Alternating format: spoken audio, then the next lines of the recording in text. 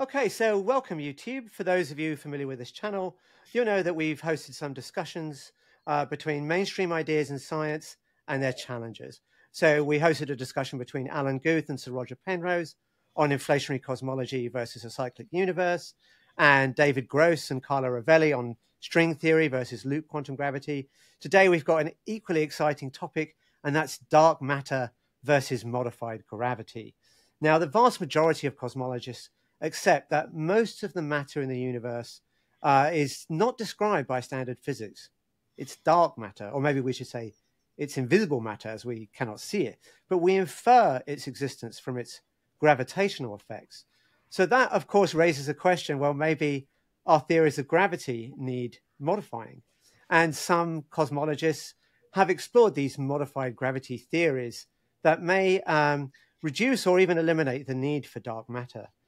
So, to help us understand these issues, I'm really excited to introduce our panel. We've got some of the world's leading experts. Firstly, Simon White. Simon is the uh, Emeritus Director of the Max Planck Institute for Astrophysics. He's probably best known for his work on the computer simulation of large scale structures in the universe. And that's been extremely influential in establishing dark matter as a leading paradigm in physics. So, welcome, Simon. Thank you.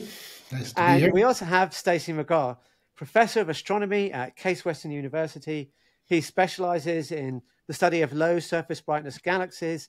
He's authored a review of the uh, modified gravity paradigm in Living Reviews of Relativity, and is probably, I think, the most eloquent defender of, of this idea.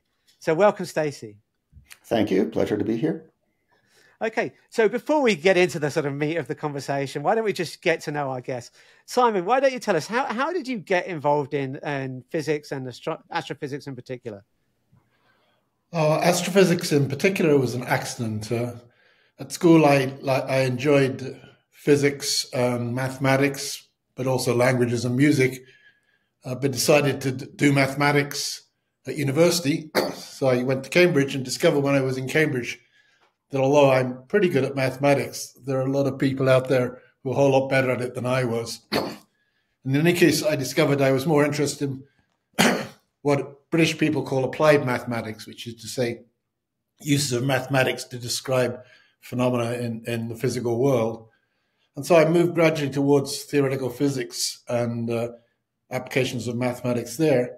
And then when it came to, to thinking about doing research, I looked around in Cambridge for places to do research, and I was particularly interested in fluid dynamics and and how how um, plasmas and, and fluids work in the universe. And the two places to do this were in applied mathematics, which was in the basement of a, of a rather dingy building in the middle of town. And then there was astrophysics, which was in a very nice, airy building surrounded by daffodils on the outside of town. So I decided that actually astrophysics looked like a better deal. Is that and the then, Hoyle Center? The Hoyle Center, that's yes, right. It was set up there by Fred Hoyle, and the first thing Fred did was a design the building to make make it pleasant for the people sitting there, and secondly to plant daffodils all around it so that it was really nice in the spring. Right. So I went there, and actually before I went there, I, I had a girlfriend at the time in the U.S. I wanted to find something to do to be a bit close to her. Actually, she was quite close to where Stacy is now, and uh, and the closest I could find to I could get a, a one year course doing astrophysics was actually in Toronto. So I went to Toronto for a year and learned observational astronomy. So by the time I got back to Cambridge, I actually knew some astronomy as well as just some uh, theoretical physics. So that's how I got into it. And what about you, Stacy? Uh, well, I, I was an annoyingly precocious child who was interested in everything about how the world worked. And, you know, um, I think my parents got tired of answering questions, so they just started handing me science books, which I devoured. And um, I really um, sort of had a tendency to what Simon might describe as fundamentalist physics. Um, I really wanted to know how things worked. And, and there's both a a scientific aspect to that and an almost religious aspect to that. And those things kind of overlap in the brain. Um, and I also got into astrophysics sort of accidentally in that uh, I was a physics major in college. I went to MIT and I also had to do a senior thesis. So I was casting about for um, what to do. And my uh, advisor, who was a laser physicist, suggested I should work to George with George uh, Whipple Clark because he was a great guy, um, and um, he uh, he was an X-ray astronomer, but um, they, he was doing this project on um, isophotal twists in uh, elliptical galaxies, looking to see if there was evidence for triaxial structure in these stellar blobs. And um, he took me observing, and um, I really loved it. And I wasn't quite captured at that point. I did go to uh, a physics program for the first year. I was at um, Princeton, and I worked in a laser lab. And it's much like um, Simon described. You can work in this closed, darkened room where you have to worry about putting your eye out, uh, or you can be on top of a mountain in a beautiful setting where you can actually see the stars. And so uh, I switched uh, to the University of Michigan, which I went to uh, in part because I knew I could get a lot of telescope time there, uh, and in part because it was sort of the the best place that uh, my spouse and I could agree to go. Um, so the trying to solve the two body is, problem. Yes, exactly, and that that's uh, that's why I'm where I am now. Um, it's uh, it's a defining uh, issue for many academics. Right, right. Okay, so Simon, why don't we start going into dark matter? Like, can you lay out what were the main discoveries in in the 20th century that have led cosmologists to conclude that um, we live in a universe dominated by, at least on the matter side, by dark matter? But actually, I think in terms of direct observational evidence, it began quite early, very soon after it was discovered that the universe is actually significantly bigger than just our own Milky Way, because very soon after Hubble discovered that the Andromeda Nebula was well outside our own Milky Way, then he and his collaborators discovered the expansion of the universe. They found out the further galaxies are away, the further they, they appear to be receding from us, and you see the Doppler effect in their spectra as a redshift. So the expansion of the universe was already discovered in the 19, uh, 1920s.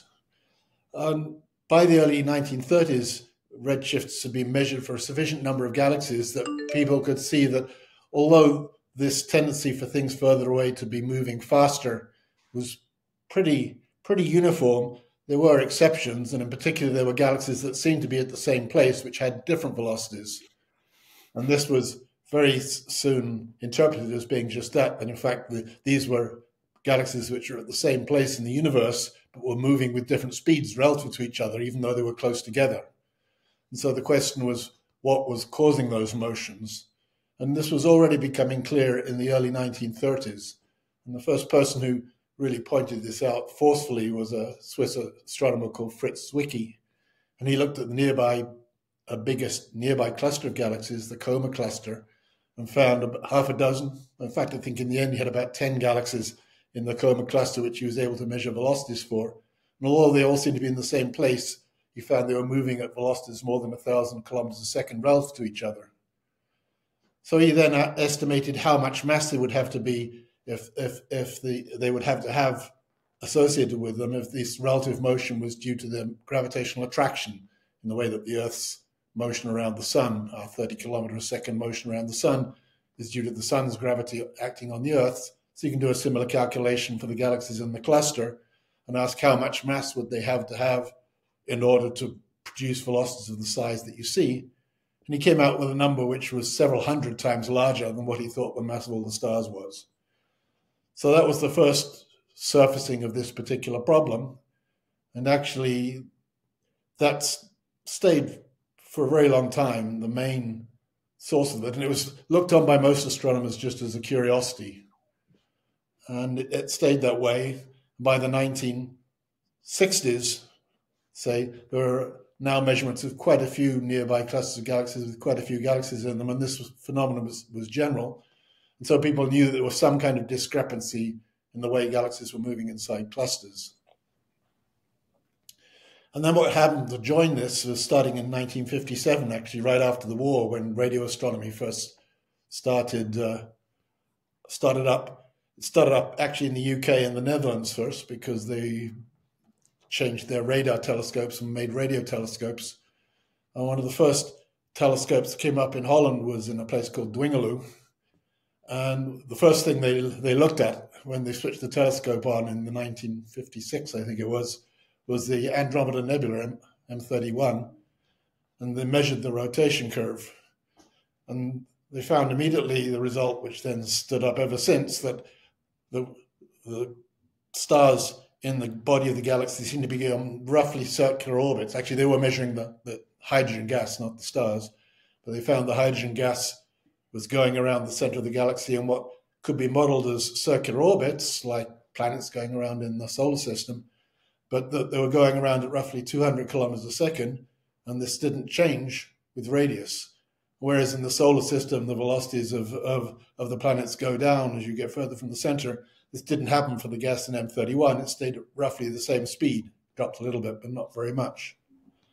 And so those measurements for 1957 held up all the way through the 1960s and the 1970s. And by the end of the 1970s, the radio telescopes had made similar maps for quite a few other galaxies, and they found this behavior was general. And so this appeared as though, as you went out, even though you, the gas extended out beyond any of the stars, you still get kept getting more mass, at least if you thought you the same laws applied as do in the solar system, because of course in the solar system the sun's mass is what it is, and so as you go further away the planets go slower. But as you went further away in the galaxies, they don't go slower; they go about the same speed. And so that either needs a different law of gravity, which is what Stacy will tell you about, or or or it needs more mass. And so this started to seem like maybe there's more mass around the galaxies than than you can see in the stars. And so this was the second avenue. And then since then, other avenues have come up. The main main ones, which I think are important for our discussion, probably, is the effect of gravity on light. And so uh, when light rays go past, for example, uh, Eddington uh, verified Einstein's theory of of, of general relativity, his theory of gravity, by showing that when the light of a star passes slightly close to the sun, the light ray's path is bent by the gravity of the sun by an amount which is predicted correctly by Einstein and incorrectly by a modification of Newton's laws. And the same effect occurs when light from very distant galaxies goes past nearer galaxies. The light rays get bent, and the effect can actually be measured. This is called gravitational lensing. And so you can use gravitational lensing of background objects by things which are in front of them to measure the amount of mass associated with the foreground objects. And this is another way you can measure how much mass is surrounding an object without actually being able to see that mass directly. And nowadays, that's become a, really a powerful probe, and and you can use it on galaxy clusters or on the extended regions around galaxies. And again, you find more mass than you can account for by the things you see directly. And then the final place where it's important is in the in the universe as a whole, where it appears that the amount of material we see in the form of what we call baryons, which is to say ordinary protons, neutrons, and electrons, ordinary hydrogen, effectively, is not enough to cause the structure of, of objects to grow in the universe. And this is measured most directly, actually, in the early universe when you look at the microwave background radiation, the relic radiation from the Big Bang, what we see when we look at that is the universe as it was when the universe was 400,000 years old. So actually very, very early compared to today. And at that time, it was very nearly uniform. So the first thing that was discovered with the microwave background back in the 1960s was that it's nearly uniform in the sky. And it took 30 years to actually find any deviation from uniformity. But nowadays, those deviations from uniformity, which are called fluctuations in the microwave background, we measure very, very precisely. And what we think we're seeing in those are fluctuations in, in what effectively are cosmic clouds back when the universe was only 400,000 years old and was very nearly uniform. And because those are essentially sound waves propagating in the cosmic clouds, we can analyze their properties very precisely. We have very precise measurements. So what you can find is that the clouds at that time cannot be just made of gas. There has to be another component there as well, which adds gravity but doesn't interact directly with the light. So there's also you then dark matter is apparently needed to explain the the properties of microwave background fluctuations. So I think those are sort of the main current sources of apparent information about what we think might be the problems of the dark matter. And I think, I mean, Stacy obviously can comment on this, but I think I think the phenomenology is basically well established, and people don't agree, uh, disagree with it at the level at which I've been telling you about it. The issue is how you interpret it, whether it's actually due to dark matter or due to something else. But the you uh, an alternative explanation will need to explain all these different things. It's no good focusing on just one part of it. And just before I come on to Stacy, can you just explain your involvement because you were part of this thing called the Gang of Four, and that in my history books that's considered very influential. What yeah, that was one of the more flattering things we were called at the time. Actually, I mean, you know, it had to, we were a group of four co-authors, all about the same age, who worked on this problem in the early days so the Gang of Four was better, at least, than the Four Horsemen of the Apocalypse, which was another of the, the names for the group.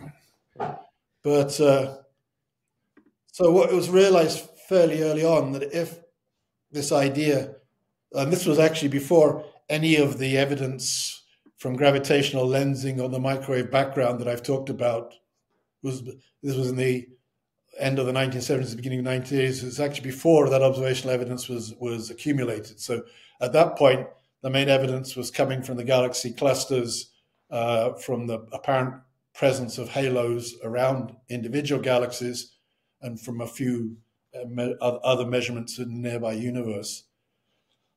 So the idea that this could be due to some new kind of matter which had been present there since the Big Bang and had gravity but no other interactions with ordinary matter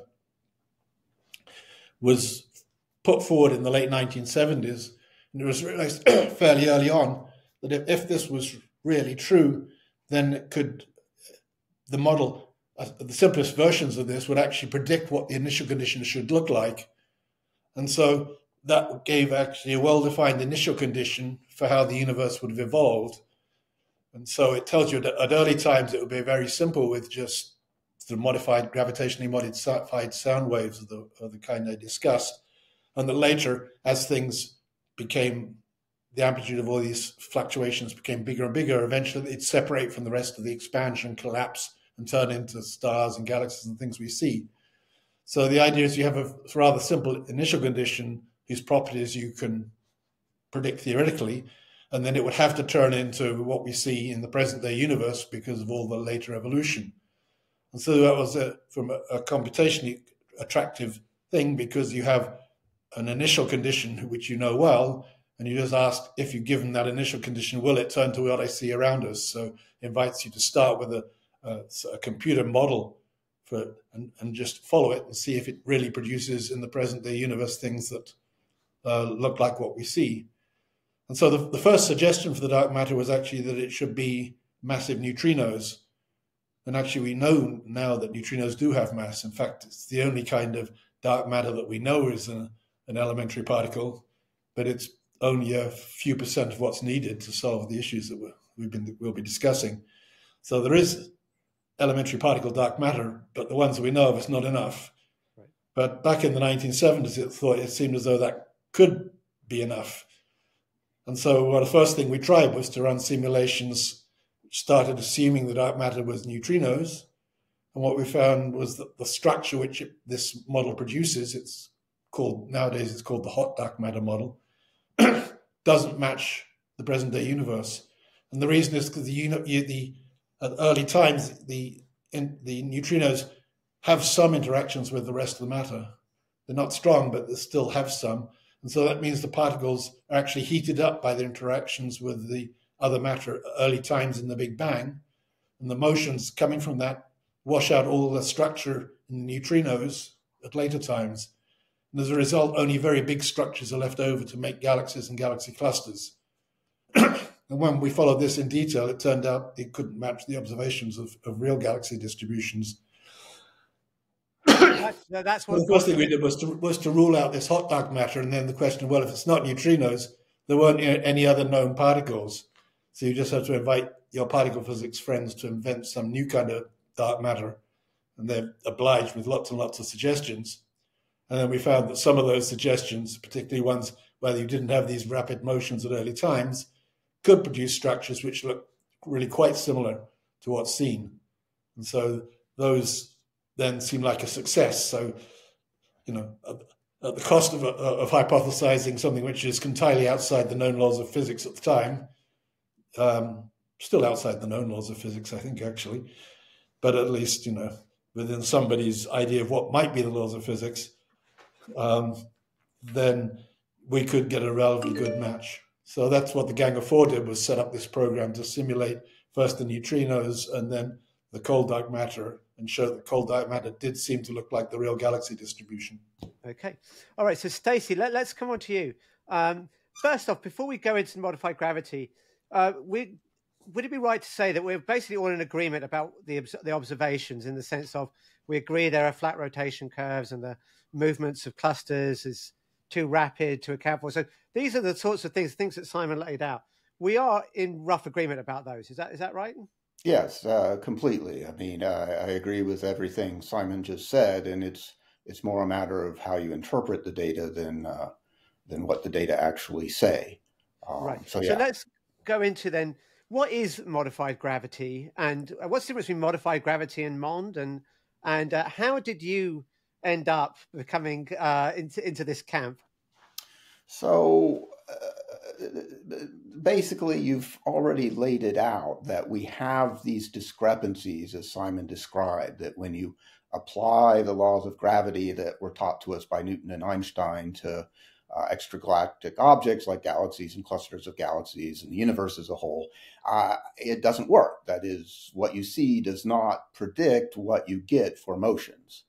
Um, and so I was convinced, um, like Simon and like most everybody else, that this meant there had to be some uh, additional form of uh, mass, almost certainly uh, a dark matter particle, and, and at the time, uh, most likely a WIMP, um, uh, the, one of these weakly interacting massive particles. And the, the piece of evidence that was most persuasive to me was was on the one hand structure formation, and that was an important thing. But the other really important thing to me was uh, Big Bang nucleosynthesis, uh, that we really understand how uh, the light elements came to be and their isotopes uh, during the, the nuclear furnace of the first few minutes of the Big Bang.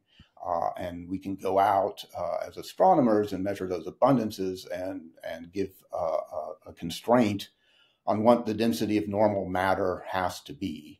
Uh, and then you you look at these other uh, uh, kinds of evidence. You, you try to work out the the mass of uh, the gravitating mass of a cluster of galaxies, and it's much larger than what can be explained by just the stuff you see.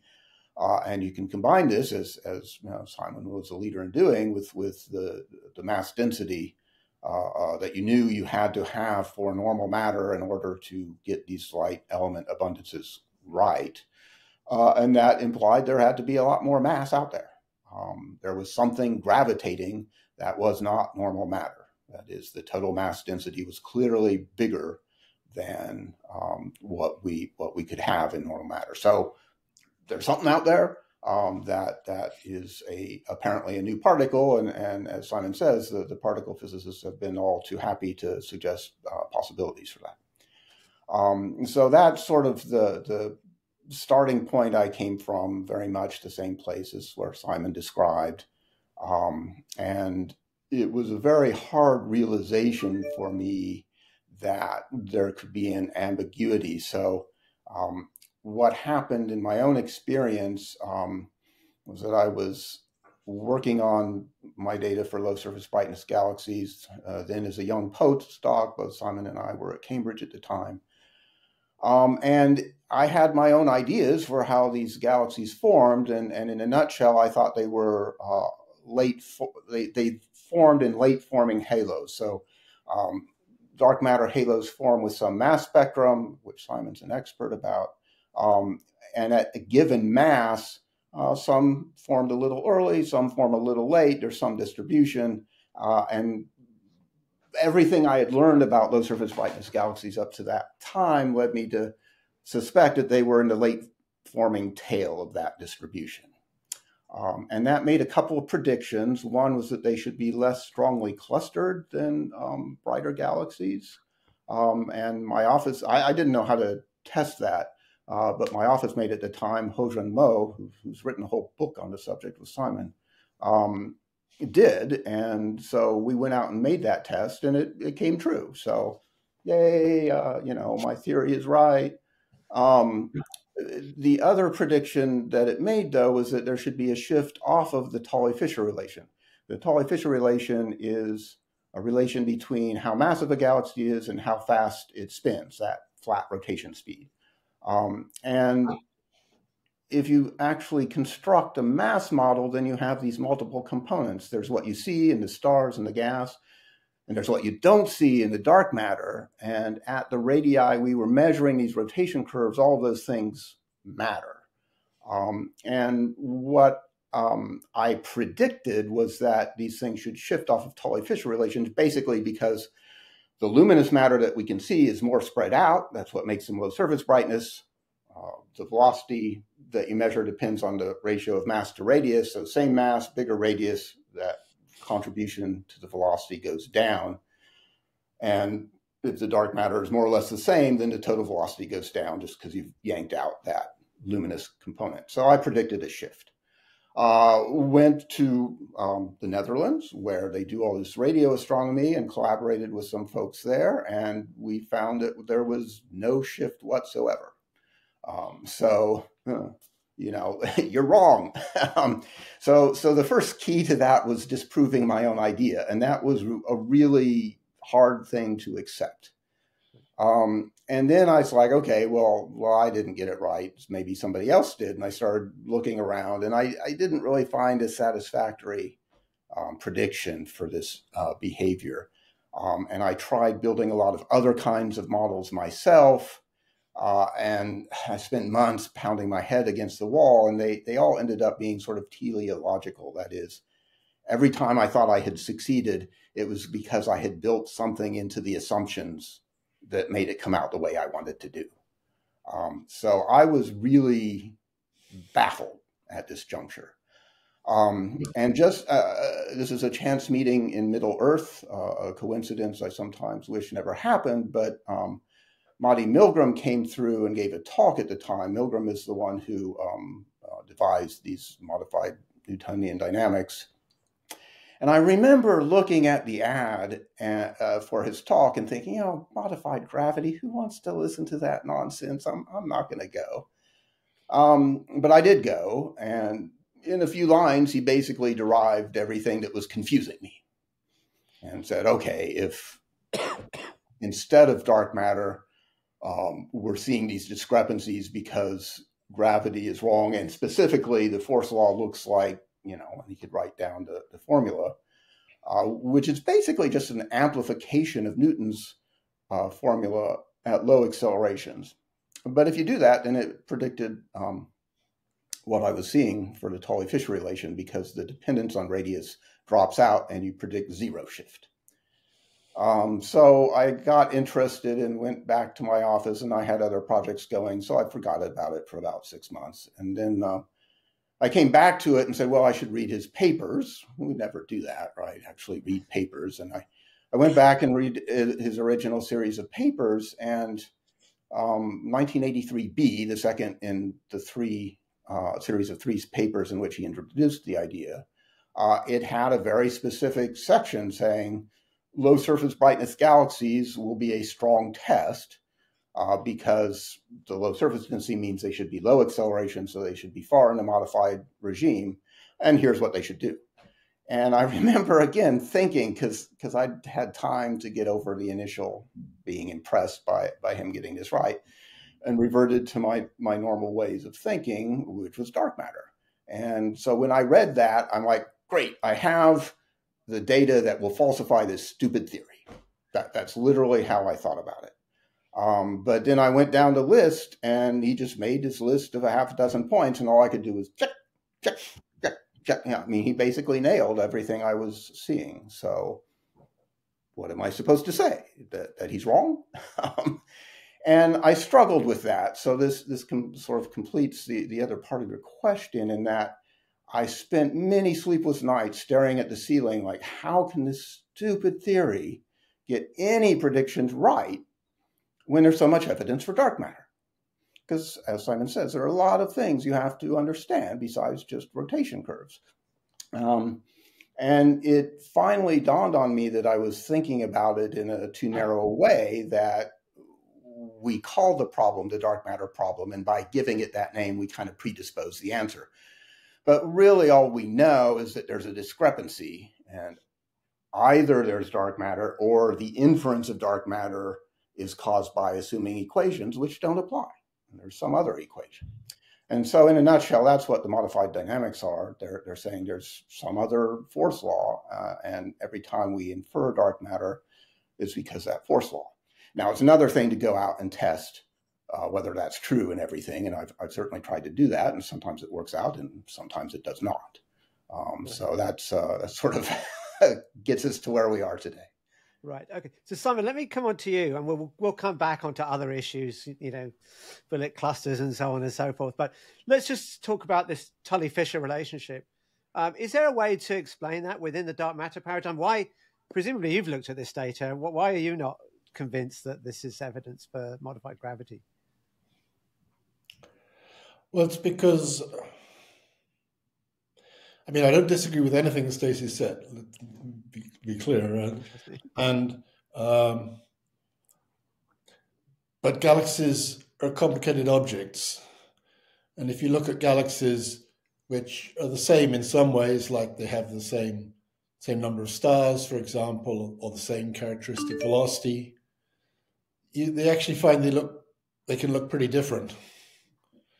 So you actually get galaxies which are, you know, in some some global way is similar, and in terms of details, can look rather different in terms of their structure. So, for example, Stacy's been concentrating on low surface brightness galaxies, but actually you can find high surface brightness galaxies of the same mass, where you have basically the same number of stars, but just crammed into a much smaller region.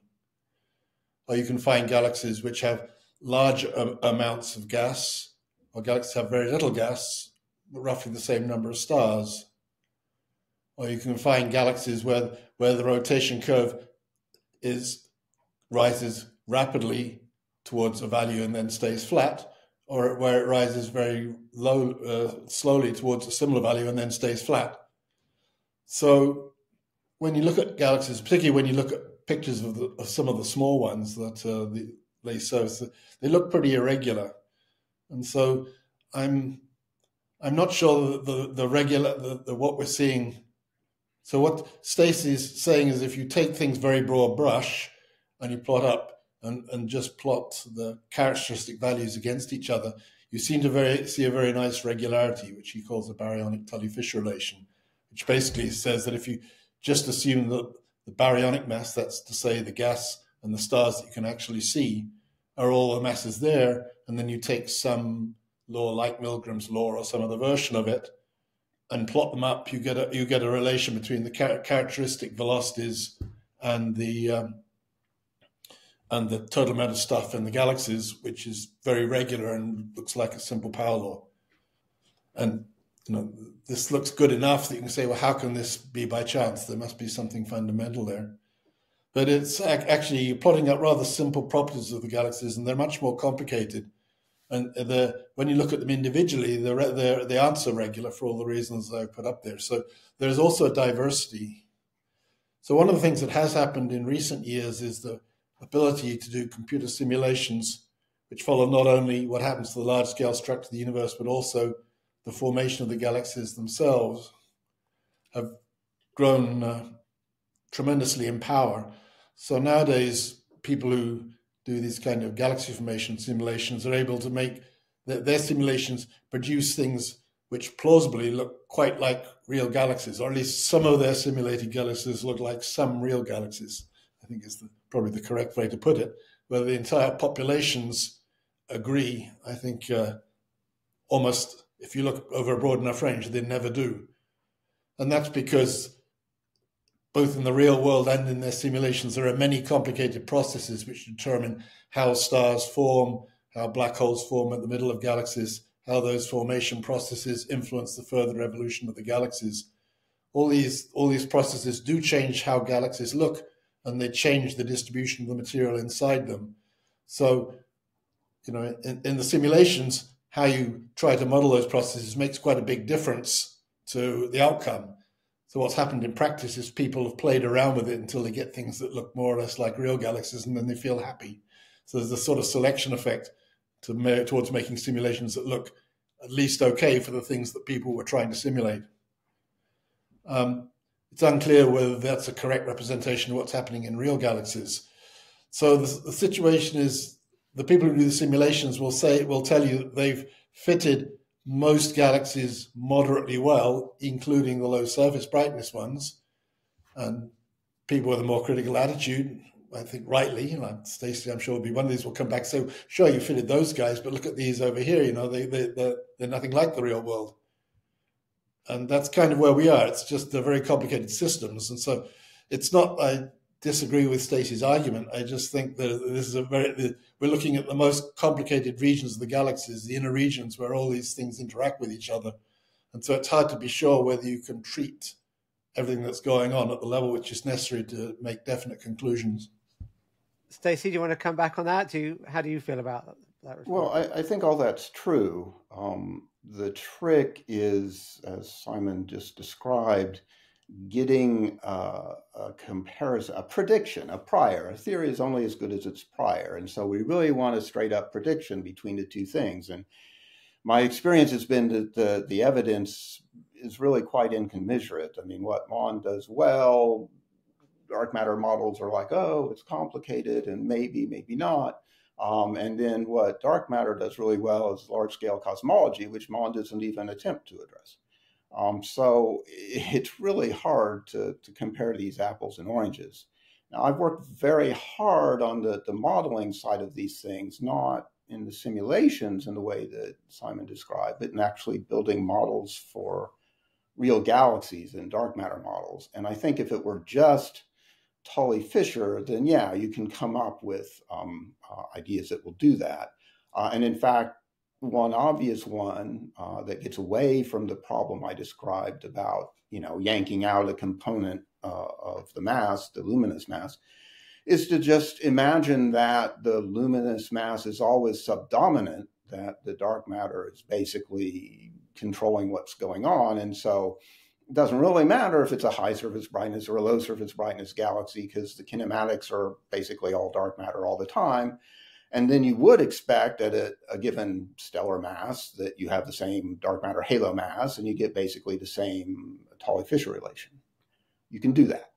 Um, that's only a piece of the puzzle, though. So, as, as Simon alluded to, there's also this diversity of rotation curves that at a given mass, the shapes of rotation curves are very different. Um, and that is to say, Tully Fisher's just talking about that flat part way out um, as far as we can measure it. We can also measure the shape of the rotation curve at much smaller radii, and that correlates with the surface brightness of the stars. Um, high surface brightness galaxies have, have rotation curves that rise very ri- rapidly. Low surface brightness galaxies have rotation curves that rise very slowly. And it's explaining the combination of things that's difficult. Because uh, if you just uh, say what I did, uh, that, uh, okay, the luminous mass is subdominant, you can explain Tully Fisher, but you cannot explain that the diversity correlates with the luminous matter um, because you've, you've defined it to be irrelevant. Um, and, and is once that a prediction of, of MOND, Stacy? So yeah, yeah. So so so I was yeah, I'm just talking about dark matter models there, right? And and the thing that I always found is that there's a sort of a fine tuning going on, and that was one of the things that really uh, hurt me slash opened my eyes was to realize that basically all the fine tuning problems like this that I was struggling with had been predicted by MOND. So yeah, this this um, dependence on the surface brightness was explicitly predicted by Mond. That was one of the check boxes that I alluded to was that Milgrom had explicitly said that high surface brightness galaxies would have rapidly rising rotation curves that then flattened off, and low surface brightness galaxies would have gradually rising ones. And it's explaining those two things simultaneously um, that is challenging in, in dark matter. Uh, but there's a deeper problem than that that I do think is fundamental because it is correct to say that there's a lot of complicated physics that should go on um, in, from the dark matter perspective. And galaxies are very different and complicated objects. And yet, you know, and you have to switch hats, right? I can say that with a dark matter hat and put on a Mond hat and say, yeah, but look, they all follow the predictions of this really simple effective force law. And it is the distribution of the stuff we can see, the normal matter, the stars and the gas, that is predictive of the total kinematics. And so if I then put on a, a, a, dark matter hat, I'm like, well, maybe I can explain that, but it doesn't make any sense because the, the, the baryons, normal matter is just sort of the tail of the dog, and it's the tail that's wagging the whole dog. Um, and, you know, I can arrange some model where that happens and maybe I can get it right, but why shouldn't I prefer the theory that predicted it in the first place? Simon, why shouldn't we prefer the theory that predicted it rather than this fine tuned, I can make it fit type scenario? It's because, you know, I think we're, fo- we're focusing on the number of hairs on the tail to tell the difference between between a warthog and a rhinoceros. You know, I think you have to, you should look at where most of the stuff is. And by focusing on, on the centers of galaxies, we're looking at the most complicated place.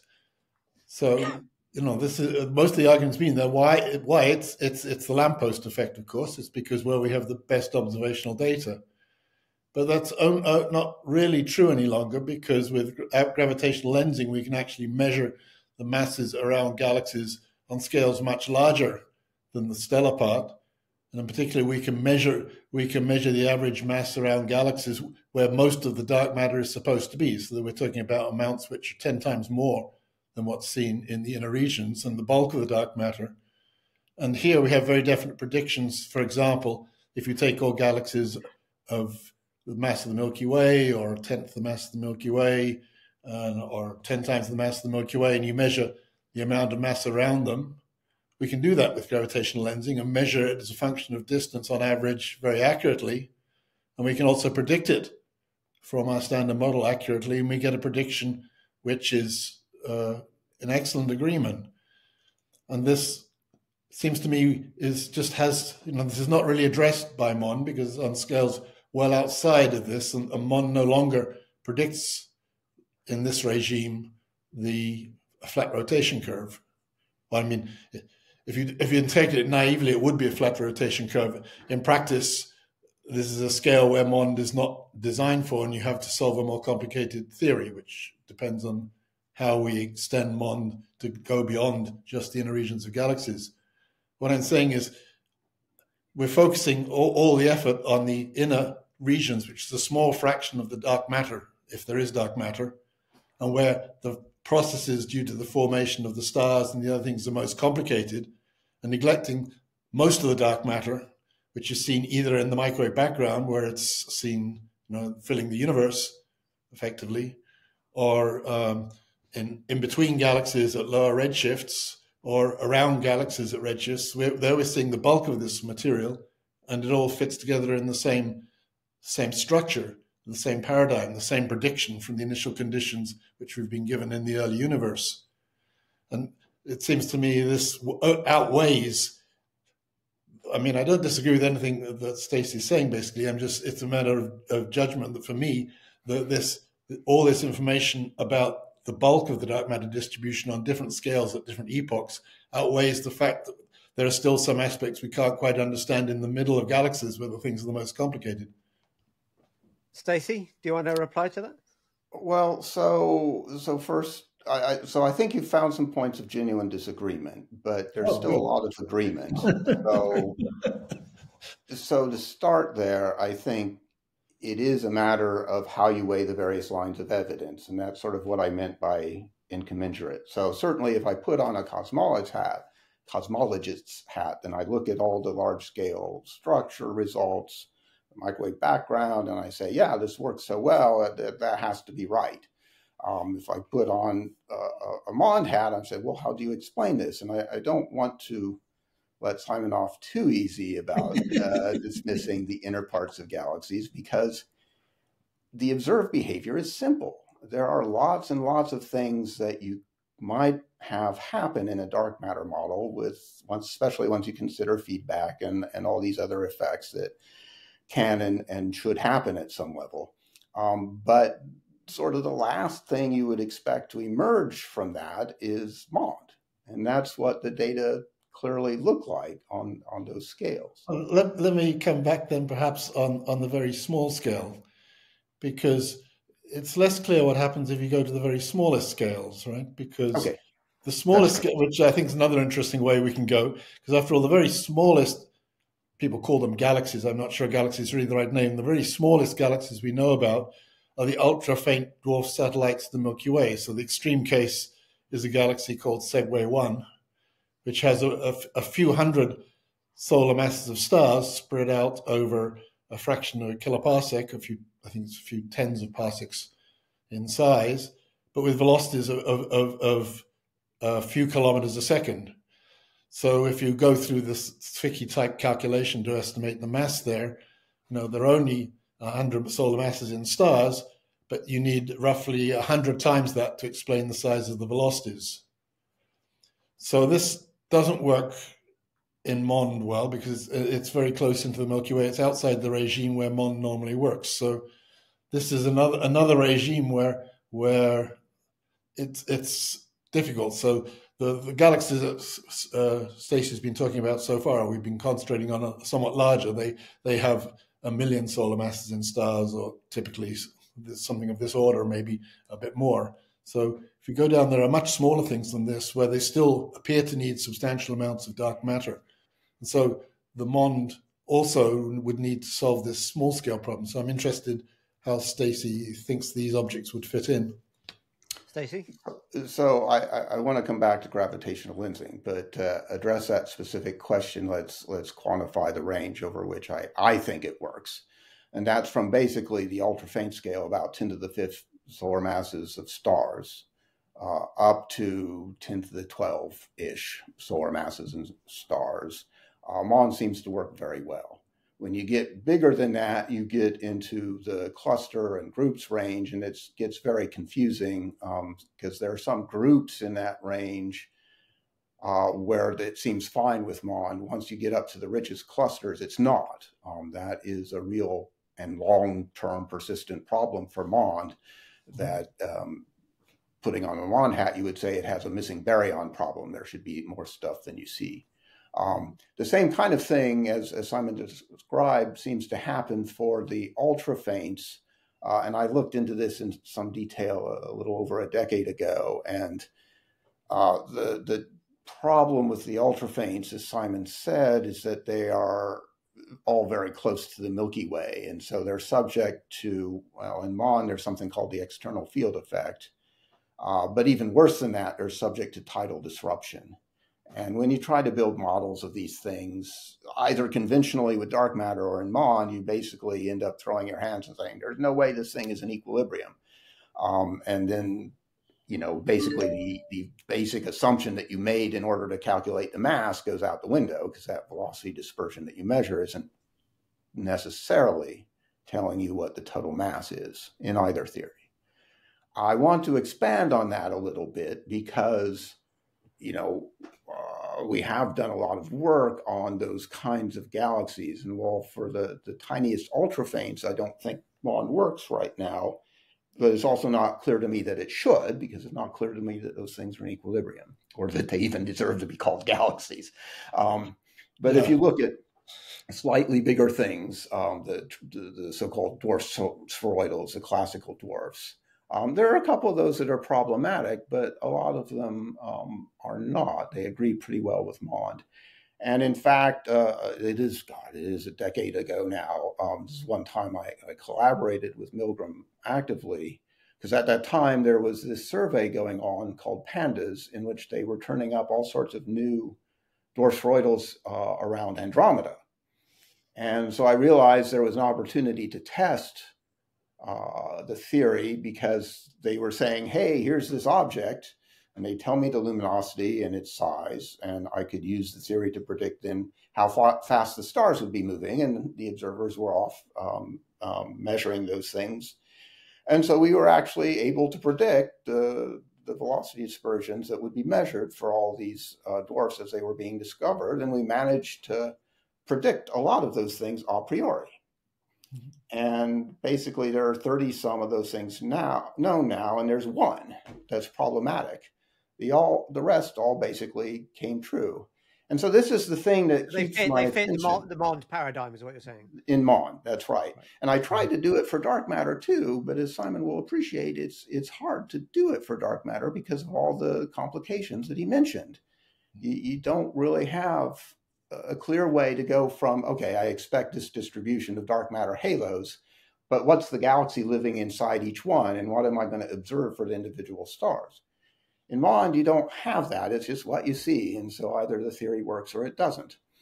And you can use Mond to predict observable consequences in advance for real galaxies in the universe. And it's been demonstrated to work over and over and over again. Crater 2 only had a velocity dispersion of a few kilometers a 2nd mm-hmm. uh, that was the prediction again a priori, whereas you would have thought if it's living in a, a sort of quasi-normal NFW halo extending out to a, a, kiloparsec as it does, you ought to have seen 15, 20 kilometers a 2nd mm-hmm. um, and so what I, am happy to consider models of dark matter, whatever that explain these data, but what keeps my attention on MOND is that I can make this prediction in MOND, and more often than not, it comes true. And I cannot make that same prediction with dark matter in spite of many efforts to do so, because uh, I don't know how to go from the dark matter, which is predictable, uh, to what I see. And that's that's really the crux of it for me is the the ability to make those real universe predictions. Simon, do you want to come back on that? Well, I think uh, take the dwarfs for spheroidals. I think you you you can go from what you predict uh, seed to what would predict from the theory, um, in the sense that the, the theory predicts a set of possible small dark matter objects, it's called dark matter subhalos, which should exist orbiting around the Milky Way, which are essentially in, in the regions that are relevant for the dwarf spheroidal one parameter family. So you should be able to find, uh, if you imagine the stars that you see, sitting in equilibrium inside one of these things, you should be able to find one, you know, as a function of this one parameter which fits the velocities you see. And that turns out you can do that. You can fit all the velocity data, uh, taking one potential well from this family to fit uh, essentially all all the known, all at least all the classical dwarf spheroidals. Crater two, I think you're right, is is a, is a is a case which is an outlier and it's hard to understand. And, but leaving that one aside, the other the other dwarf galaxies you can fit inside a potential well of this kind, and then you can ask, well, for each one, you know the value of this parameter, which is actually turns out to effectively be the mass of the object. So you can ask, is the distribution of dark matter masses that you find for the objects plausible and other reasons, or is it some so very very strange value, very large or very small compared to what you would have naively expected? And it comes out to be in, in a reasonable range. So I don't, while, while you can't predict it in the sense you can say a priori exactly where the stars should form in the dark matter potential well, if you assume the star's formation hasn't affected the dark matter potential well much, then the theory does provide potential wells which could host the observed distributions of stars, with possibly one or two exceptions. Me, which is which is weak. Which is I agree. I mean, this clear this is weaker in the sense that you, you show it, you show it, you can't exclude it. it. Doesn't show. It's not a no a no parameter prediction of the kind that you were you were putting forwards. And is is Mond a no parameter prediction, Stacy? in, in some cases, right? And so basically, you do have it has this acceleration scale. So this, this bit, I guess we skipped that I should explain that. Mm-hmm. You know, when we think about modifying the law of gravity in this context, um, our brains are obsessed by size. So, right, the first thing that we think of is, well, Newton works great in the solar system. Galaxies are much bigger, so maybe there's some length scale uh, where that force law changes. Uh, and people tried this, and, and that fails horribly. That does not work. Um, but Mond, uh, well, what Milgrom said is, well, there could be other scales, and the one he settled on as, as having a chance was an acceleration scale. And so it's uh, a modification that happens at very low accelerations, um, about one angstrom per second per second. It's a crazy small number, but that's typical of the centripetal accelerations that stars and galaxies experience. And these really low mass and low surface brightness galaxies that we're talking about are, are even lower than that, a tenth uh, of uh, an angstrom per second per second. And that's where the modification really kicks in and so that's where you have to really to, to test it. Um, so, you know, I, I, think Simon and I could go back and forth about the dwarf spheroidals all day. We're not going to do that. I yeah, I think uh, I would like to come back to the point about gravitational lensing because. Uh, oh, just before you do that, though, while we're talking about the acceleration scale, there is an important corollary of that which you already touched on, which is that if they're going to have a new theory with a new constant, it's important that the value of the constant should be the same for all the systems that you're talking about, at yep. least if you think it's a constant of nature. And that's the issue which which seems to go wrong for the richest galaxy clusters. Yes. In other words, the, the value of the acceleration constant, which you need for MOND to work in the dwarf galaxies, doesn't seem to work. If you use the same value for galaxy clusters, you'd need a different value. And if it's really a new law of nature, you don't want to change the value for different objects. I absolutely agree with that. And and the the thing that amazes me about this is that in galaxies over that sort of six order of magnitude range in mass that I mentioned, it does seem to be a constant. Mm-hmm. Um, and people argue about that. And I, in fact, I refereed a paper not too long ago that said, "Oh, oh, this galaxy is it's the number is 1.8 instead of 1.2." that is well within the uncertainties of, of what we don't know, because there is a physical uh, parameter that you can't get away from, and that is the mass to light ratio of the stars, right? So that is something you don't know perfectly a priori, and you need the mass to make the prediction.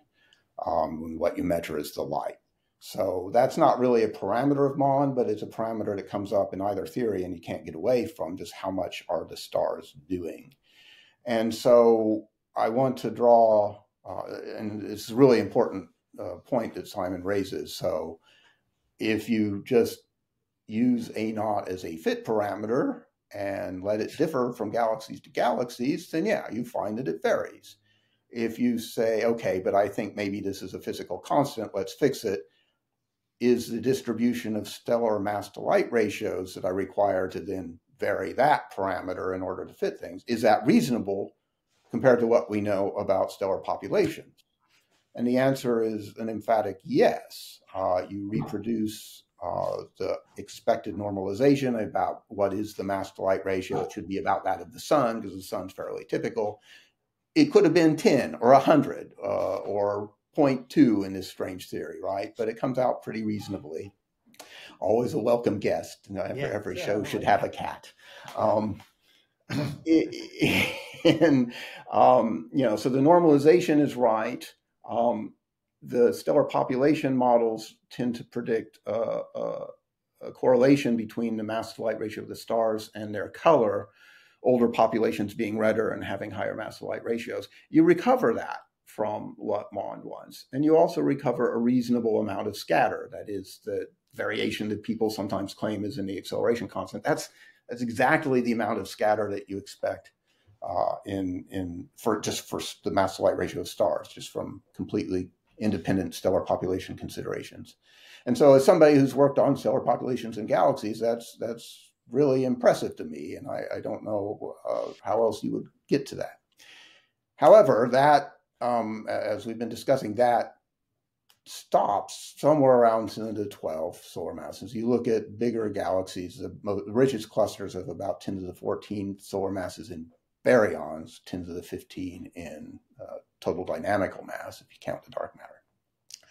And there, if you apply the same um, MOND formula with the same acceleration constant, then you fall short, right? And that that's about a factor of two, but it's it seems to be a real factor of two, right? So if if you back way up, and from you know an astronomical the astronomical scales perspective, and you say, well, all the mass discrepancy always appears at that acceleration scale. Isn't that amazing? Yes. Uh, it could have been orders of magnitude, right? The solar system could have tons of dark matter in it, uh, or some galaxies could have none. Some galaxies claim to have none, but almost always it the, the mass discrepancy appears at this acceleration scale. The one exception is rich clusters of galaxies, and it's almost that scale, and it's a factor of two different. And sometimes that factor of two matters, and sometimes it's far from the course. Um, I think it matters, um, but I'm not willing to just say, okay, I can ignore everything else that Mond does so well uh, because of this one problem. Maybe okay, let me let me let me move the conversation on a little bit.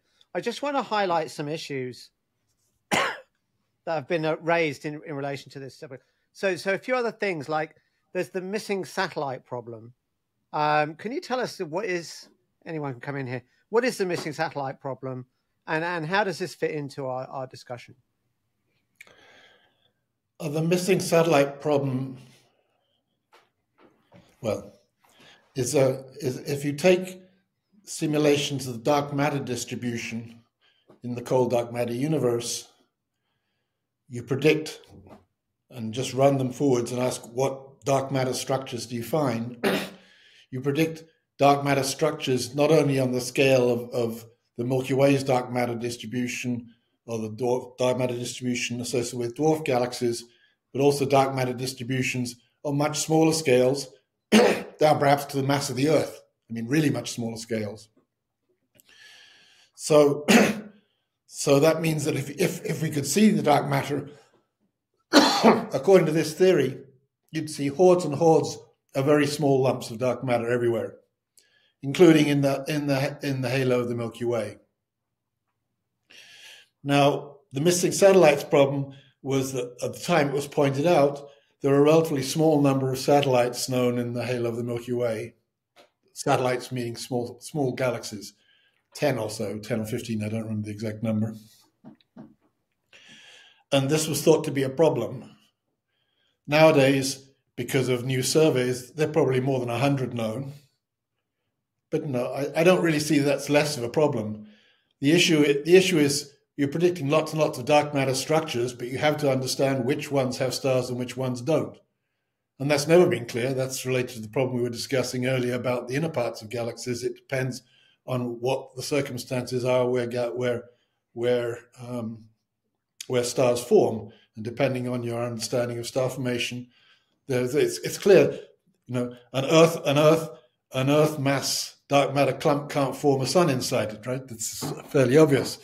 So there has to there has to be a lower limit to the mass of a dark matter clump which can make any stars and the issue is where that limit comes. So it could have occurred at the place where there are only 10 satellites. It could occur at a place where there are 100 satellites. It could occur at a place where there are a 1,000 satellites. It just depends on how the physics of star formation works at the lower limit, where you just barely manage to make one star. And we're still a long way from understanding that in any detail. So I think this was always a fictitious problem, right? Because we don't understand the lower limit to star formation well enough to decide whether there is in fact a problem or not. Stacy, is it a fictitious problem? Well, I, I don't think it impacts the, the main point of our discussion too much. I mean, one of the good things about the cold dark matter paradigm is that it does predict the mass function of halos. That is, how what is the number of, of halos as a function of mass. And as Simon just described, there should be lots and lots of little halos for every big halo. And so if you start with the assumption, the obvious assumption that there should be a one to one correspondence between the mass of the halos and the mass of stars inside them, then there's a problem because making that assumption, you predict there should be as many dwarf satellites as there are little dark matter halos. And we don't see that many. Um, but, but as Simon said, that's actually not we, we've sort of obsessed with that assumption and we tried all through the 1990s to not have to break it, but it's clearly broken and it's not, I don't think it's unreasonable that it's broken. Um, one can get into more higher level concerns like the too big to fail problem, which is sort of a subset of that because there are some, right, there's sort of a gap between the, the bigger galaxies in the local group and the smaller ones. And so it's easy to imagine there's a threshold, as Simon described, where you just stop being able to make stars. But there seem to be some intermediate masses where you should have made stars still if you made them in still smaller objects, but didn't. But you know, I don't. If I put on a Mond hat, I don't even have a prediction for the mass function, so I, I can't complain. right? I, I, I, think actually we don't have that much longer. I think it'd be more productive to go back to the gravitational lensing yeah, issue. So, so why, why, Stacy? So why didn't you tell us what you think about that? Well, so I, I want to be sure we're on the same page about what we're talking about because we can argue about the interpretation, but we also first have to agree on the facts. Mm-hmm. And mm-hmm. so one of the, you know, people have doing been doing gravitational lensing work for a long time and for a while, it was um, inferred that there was an edge to dark matter halos of two or 300 kiloparsecs, which seemed reasonable uh, in terms of dark matter halo, and not even unreasonable in terms of MOND, because in MOND, you have to worry about the mass distribution of everything else in the universe. Um, easy way to think about this is between the Milky Way and Andromeda. Um, there's some mass weighted midpoint, and at one point you're more attracted to Andromeda than the Milky Way. So if you do this exercise there, you're you're not going to see beyond that edge. Um, but then there's a, the more recent work by uh, Brouwer et al. Uh, this is in 21, and then my postdoc Tobias Mistele just um, published a paper reanalyzing those data because he worked out a, a, really clever way of, of uh, estimating the errors that, that reduces the, the noise a bit. Um, and but the key thing that Brouwer et al. did was uh, identify isolated galaxies. So you could look at the lensing signal from individual galaxies that didn't have a lot of satellites, at least not bright ones, uh, around them, out to sort of megaparsec scales. Um, and there, uh, the empirical result is basically that the effective gravitational potential around those isolated galaxies is consistent with what would cause you a flat rotation curve out to where the data fade out right and and simon will immediately recognize that that means the density profile of a dark matter halo needs to fall off as r to the minus two. That's the 3D mass density. Whereas his simulations predicted it should fall off as r to the minus three. And what here I think we actually have a data disagreement. Okay, so so we have to agree on reality first before we talk about interpretation. Yes. So here the so what I'm talking about is taking isolated galaxies in, in the nearby universe, so from the Sloan Digital Sky Survey, let's say, to be specific, find ones which isolate in the sense they don't have any comparably large galaxy within a megaparsec or two, and then stacking the weak lensing signal around samples of those galaxies as a function of their stellar mass. And this was done by Rachel Mandelbaum, and, and it gives you, as a function of the mass of the galaxy in the middle in stars, the weak lensing signal as a function of projected distance, and the measurements go from about uh, 30 kiloparsecs out to uh, 10 megaparsecs. And there's just a signal which you can get for galaxies from about the Milky Way mass and higher up to rich cluster galaxy, central galaxy masses. And that's measured with small error bars over the whole range. And now what you can do is you can ask what is predicted in a cold dark matter universe. You can take a simulated universe populate the halos with galaxies in order to get the galaxy mass function right, and then make a mock catalog, pick isolated galaxies in the same way, stack them in the same way, and compare the signals. And what you what you find is is is, is essentially a perfect agreement all the way from 30 kiloparsecs to, to 20 or so megaparsecs, all the way from uh, central galaxy masses of a few uh, a fraction of 10 to the 11 up to 10 to the 12 and a half with within the error bars with and that's with no uh, that's a no parameter prediction in this case because the cosmological theory was given somewhere else and the, the, the observations of the lensing weren't used in fitting. So that sounds to me like very similar to what you just described but with a different answer So I'm not yeah. quite sure. We we need to compare and yeah. uh, and see why why they're different. Yeah, we, we, we definitely have to agree bit? on reality first. Yeah. One, one sec, guys. I just want to summarize this this lensing issue that we're talking about because we're used to the idea that dark matter is inferred from from gravitational lensing, uh, but in yes. this case, you're talking about stacking images. What what what what is different here from the regular issue of well, we see there must be more mass from from gravitational lensing? No, this is using the gravitational lensing. So what we're stacking is the gravitational lensing signal. The point is, if you just take one individual galaxy, there aren't enough background galaxies to get a very precise signal for the mass distribution. Right. so to get to, so although you can't get a very accurate result for any single galaxy, if you average together lots of galaxies of the same mass, then it gets much more precise. So the stacking is basically just the averaging together of lots of similar galaxies in order to get a more precise answer. So this is in principle, you know what astro images do and what you do on your phone. You're stacking lots of. Yeah, the stacking here is actually in the in the computer. Yes, you're yeah. you're looking the background images around each of them, measuring a mass profile for each one, and then averaging those mass profiles. And then it comes out in favor of dark. then it comes out uh, with essentially perfect agreement with what you get by taking a simulated cold dark matter universe and making a mock set of galaxies and doing the same operations and seeing what's predicted. So Stacy, that, you, yeah, that, that's exactly where I think we need to go back and, and look at. All right. So unfortunately, we didn't. We needed this conversation before before yeah. before this interview because we need to compare our answers and see if they appear to be different, why they're different.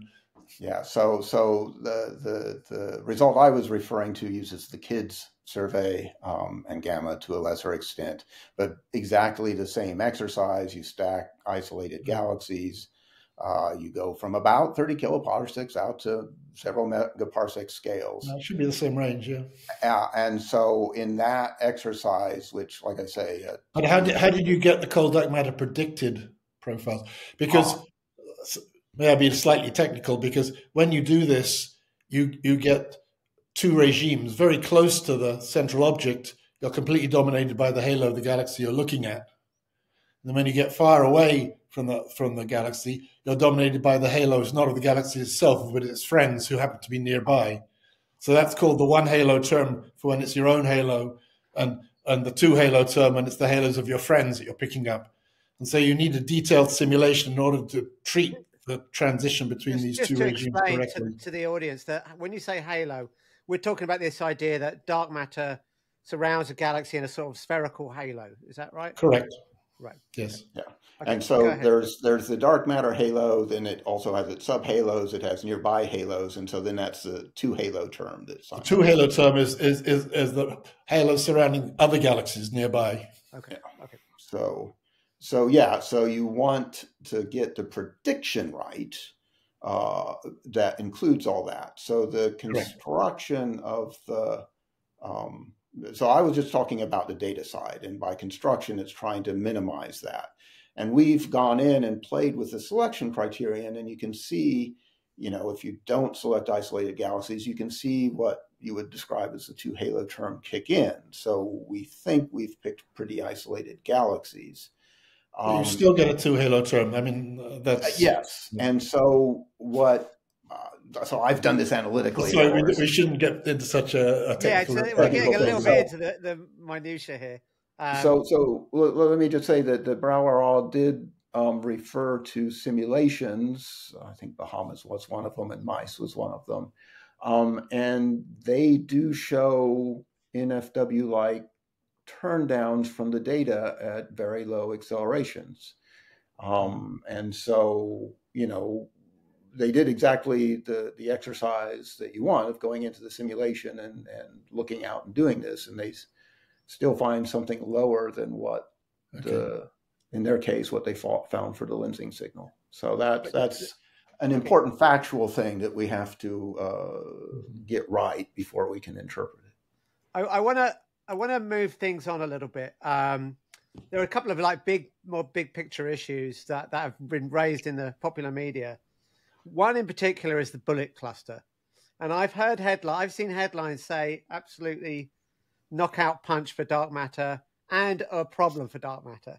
So, can you explain what is this bullet cluster, and is this you know, evidence for or against dark matter? Uh, yes. Stacy, why don't why don't you give it? A, well, so first of all, what it is, uh, it's it's a pair of merging galaxy clusters. Um, so you don't just see a whole lot of galaxies; you see two clumps of galaxies. Uh, and associated X-ray emitting hot gas, most of the normal mass that we know about in clusters of galaxies is in that intracluster medium, the hot gas between the galaxies. And in the case of the bullet cluster, you've had these uh, larger cluster and a smaller cluster come together, pass through each other, and you can see the resulting shock wave in the uh, uh, gas of, of the, the bullet component of the cluster, hence the name.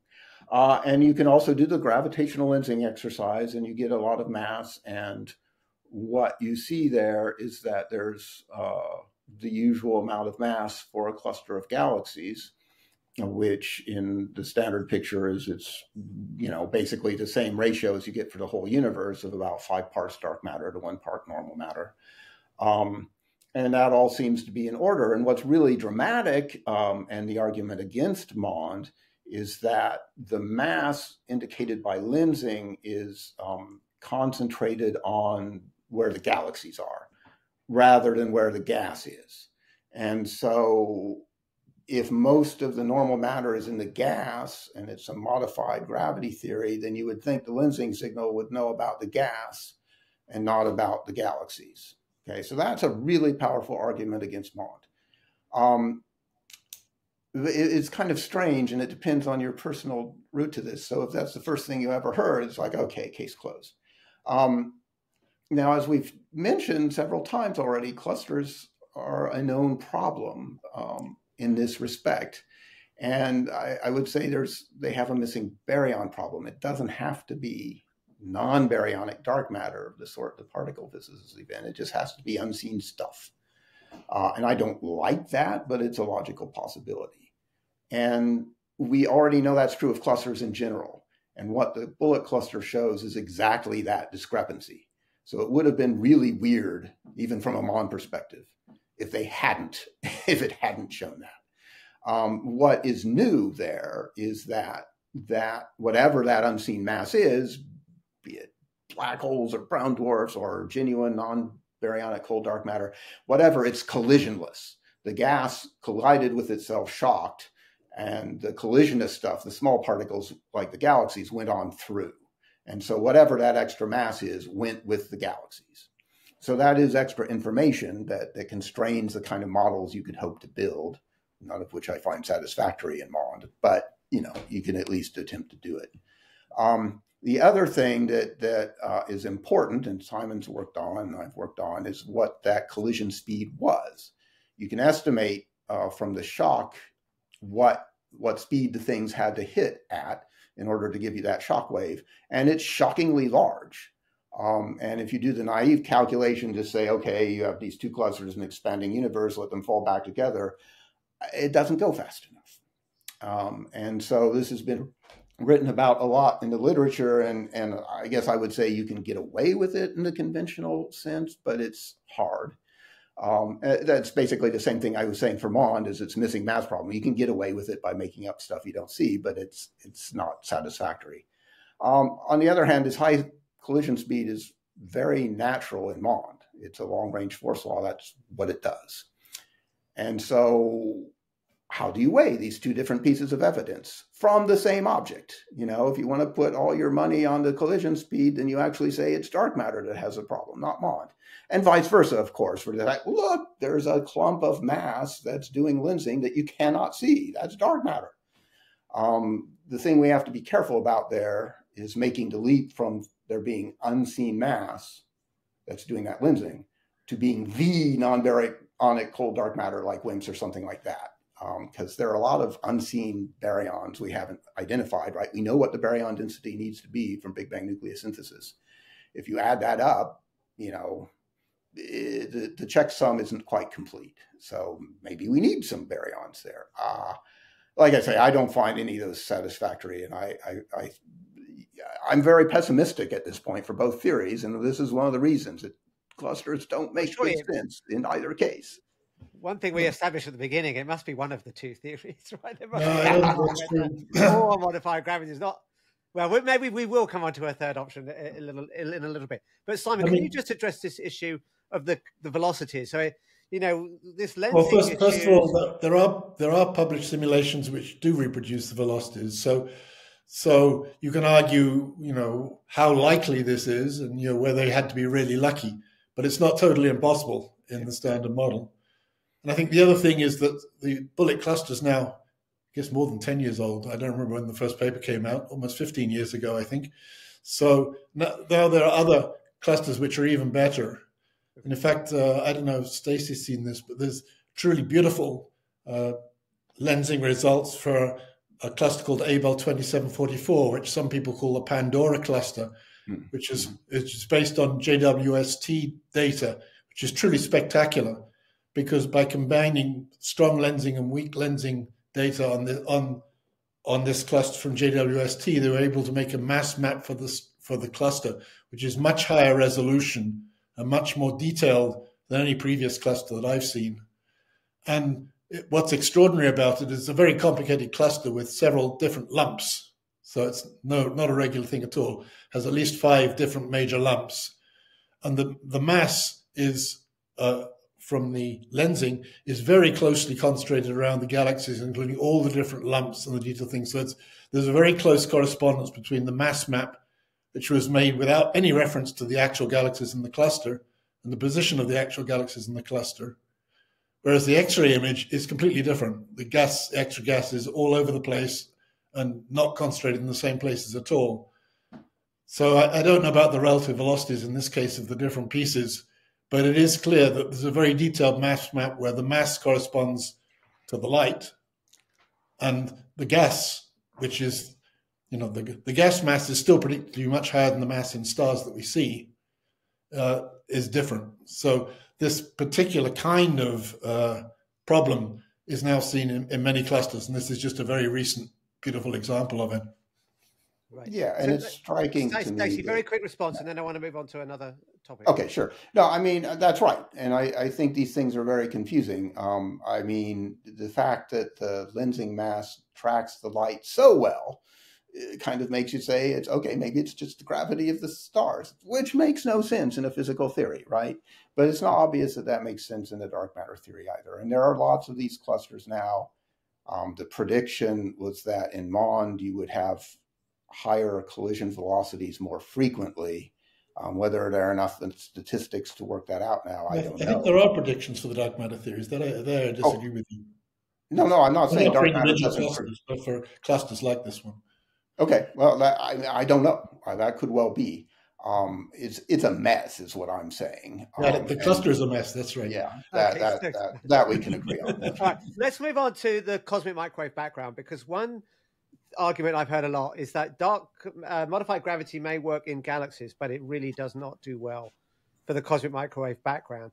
So, uh, I did, Simon, can you explain what is the problem for modified gravity in the, in the cosmic microwave background? Well, and um, I think to be fair to modified gravity, it wasn't designed for this, so it wasn't intended to be applied in this regime.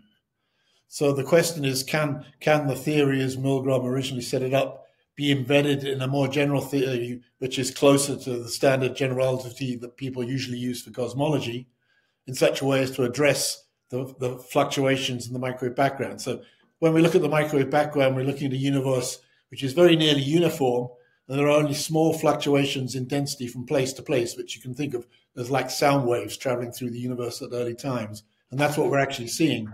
So you need a theory which can treat the evolution of sound waves in in the early universe. And what the observations are telling us is there is a component at that time which acts like it gravitates. It uh, has no strong pressure component. And it has no interaction with the baryons or the light, but nevertheless is, is fluctuating. So that's what the so the question is: Can a Mond theory extended this regime have a similar component? And I think the answer is maybe. I mean, there are some examples which at least come close.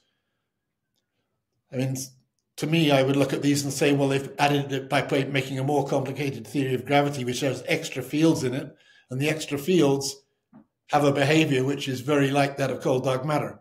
Right. So, you know, maybe is it different from the cold dark matter theory or not? this probably is a you know, it's a question of point of view almost. So that's my take on it, but I'd be interested to hear what Stacy thinks. Stacy, so I largely agree. Um, this is a, a, long history with me because you know I've I've emphasized the predictive power of MOND for individual objects that, that in the real world I can go and do this exercise. Um, in cosmology, there's also a series of successful things when you know we, you know, Simon will remember standard cold dark matter when we were convinced the mass density had to be the critical density, and and he and many others showed that that couldn't be the case, and we've ended up with lambda CDM with this dark energy component filling in the difference. Um, and it took many, many, many steps to get there, but by the mid 90s, that had emerged as, as something that needed to happen. And then that. Can I just clarify, Stacy, with critical density, you're basically saying that the universe appears roughly flat. And yes. in order to get it flat, we need to invoke extra stuff. Yes. And the dark matter was thought to be the extra stuff. And then it, you guys worked out it's not enough. There has to be something else. And that yeah. something else is the dark energy that was discovered in 1998, right? Exactly, and it, and and that's why I want to say this. It wasn't really discovered in 1998. We knew it had to be there if it was going to work out by the mid 90s, and the prediction was that if that was really true, that we had to have this cosmological constant again, then the, the expansion rate would be accelerating. And at the time, that sounded kind of bat guano insane. Um, and so then it was amazing when the supernova experiments found exactly that. And so that's that's sort of I'm trying to be generous to the standard picture here because I think that was a prediction that was that came true. Um, and even then, with the supernova data, um, really what it excluded was sort of a normal FRW cosmology without the lambda. But it didn't really tell you the universe was flat. And we were kind of leaning hard at the time around the turn of the century on it, it being flat. And so when the first really good microwave background data came back and showed that the first peak fell in exactly the location that you would expect for a geometrically flat universe, it was like, oh goodness, because you know we could have lived in something even more complicated. And lambda CDM is hard enough, but um, but that was another successful prediction, and then that goes on and predicts, okay, there should be a scale in the baryon acoustic oscillations, which you might have heard of, and that also comes true. So both theories have this series of successful predictions in very different regimes. And so now the, the microwave background, um, you know, as Simon says, you need a theory that addresses that. MOND by itself is an extension of Newtonian dynamics. It, it doesn't do any of the relativity that you need to do this calculation. Didn't um, Bekenstein so create a relativistic version? He did, and um, and it didn't work in this way. So Bekenstein tried for many years to do this, and in fact, an argument made to me many times against Mond was that, well, Bekenstein tried to do this and he couldn't, and if he couldn't do it, then it can't be done. Um, and then in 2004, I think it was, he came up with TeVeS, uh, T-E-V-E-S, which is for tensor vector scalar, because if you're going to have a tensor component, you can also have a vector component and a scalar component. Um, and the success of TeVeS was to explain gravitational lensing. Uh, that was what his previous theories had failed to do. You could you could get an, a boost to the kinematics, but you wouldn't get a boost to the lensing. So TeVeS succeeded in explaining lensing, but it did not really work um, for the microwave background. Um, and so, and, and, it has other failings, uh, uh, so it's gone by the wayside. But you know, you don't just come up with a new extension of general relativity overnight, and people have been working on this. And so, you know, I, I, think as we said early on, you have to explain all the data everywhere. And the the question to me is whether uh, for the galaxy things we can really come up with a satisfactory dark matter explanation. And a lot of people, not Simon, but a lot of people in the field just assume that that will inevitably happen because obviously it's correct. And I'm, I'm not willing to grant that assumption. Um, but it's also, you know, uh, one could make the same mistake putting on a Mond hat and saying, oh, well, it works so well for ga- galaxies that inevitably we'll find uh, the right relativistic theory. That, that's all, also not obvious. Um, so there is a, a, very recent theory by uh, and Zlosnik. Uh, I think they're calling it a tensor scalar theory, AST, something like that, um, which they've shown does fit the microwave background data. As Simon says, they have to have these extra components, and basically the scalar field ends up playing a role similar to the cold dark matter in fluctuations. And so you have to add something like that and either you can say that's a great success to have gotten so far, or that's really horrible because you're just adding new freedoms of free parameters, and so you're just fudging things. And both these things might be true. let me um, let me bring up another theory that's that's got some publicity really, uh, recently from uh, Sabine Hossenfelder has been pushing this one, uh, which is um, dark matter as a as a superfluid. And the argument this is from um, well, the argument, as I understand it, is that you you basically have dark matter behaving like a superfluid, and this means that in some scales it behaves like cold dark matter, and at other scales it behaves like MOND, and that would explain why in some regimes we see evidence of MOND, and in some regimes we see evidence of dark matter, and and we can combine these two. The thing it reminds me of was um, from my history of astronomy, there was a debate, as I understand it, about the value of the Hubble constant some people thought it was 50. Some, another camp said it was 100. And I was told, well, somebody just said, well, it's probably 75 then. You know, you've got good arguments both sides. And indeed, we're still debating the value of the Hubble constant, but it is closer to, to around 75.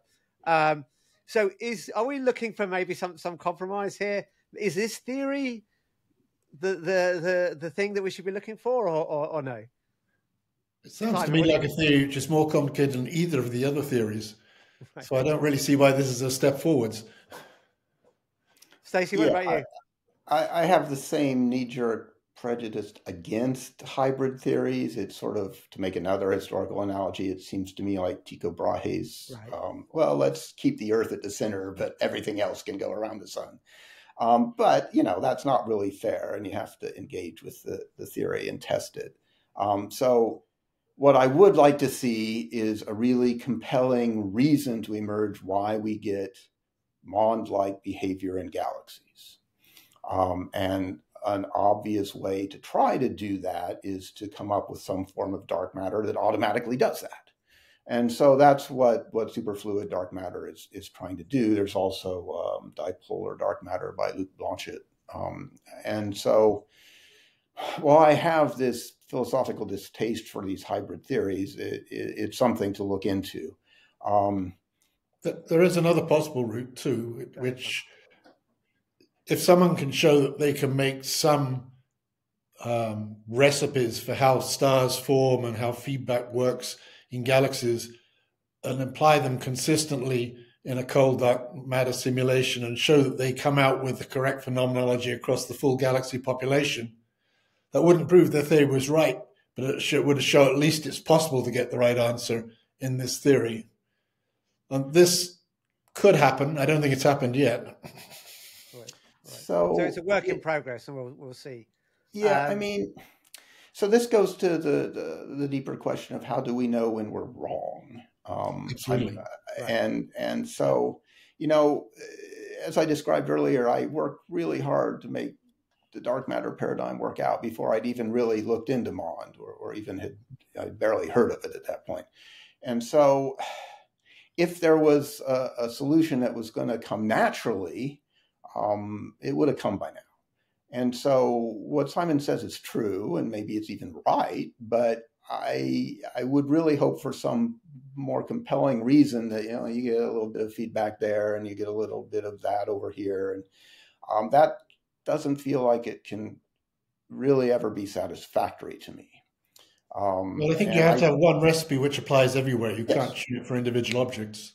Yes, and right now everybody's recipes are different, right? So right. Um, you certainly you just need one set of recipes which are applied consistently across all scales, and that would show at least an existence proof there is a possible yes. solution. I, I agree completely with that, um, and and we're not there yet.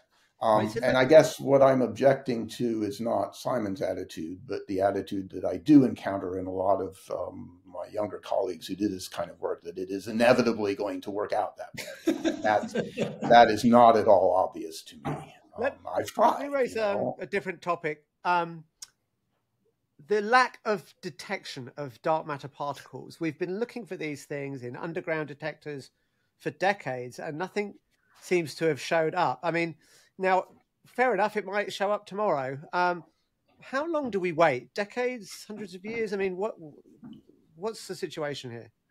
Well, from a particle physics point of view, as I understand it, the particle physicists come up with lots of candidates which we will never detect.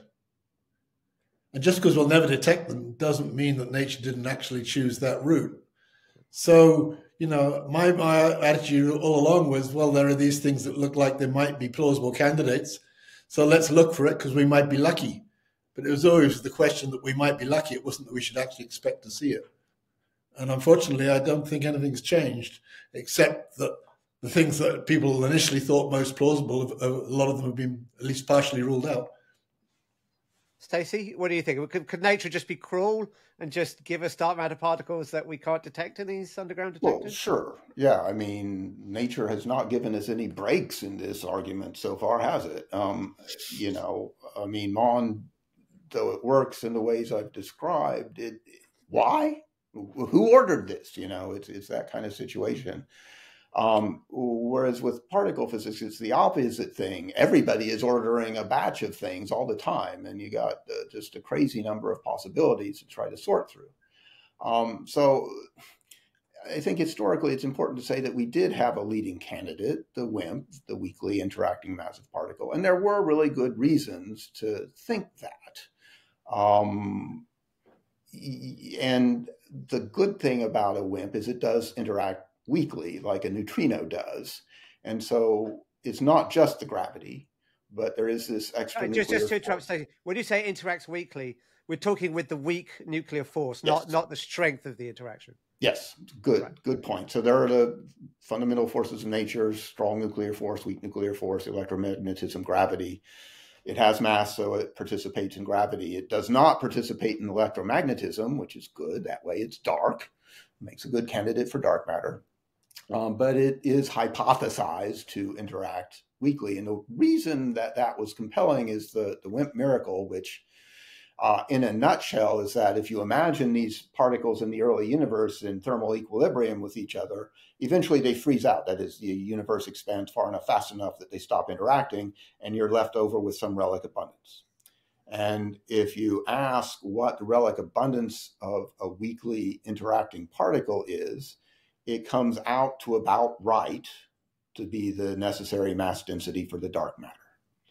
And that is kind of amazing. So, you know, these forces are all active on very different scales, and there's nothing going on on the inner scales in between those things. And so, why did nature pick out this one scale to give you the right density uh, for your potential dark matter candidate? It's a miracle. Um, and that that did seem miraculous at the time. And so that was an important reason that motivated many of the dark matter experiments that are still going on.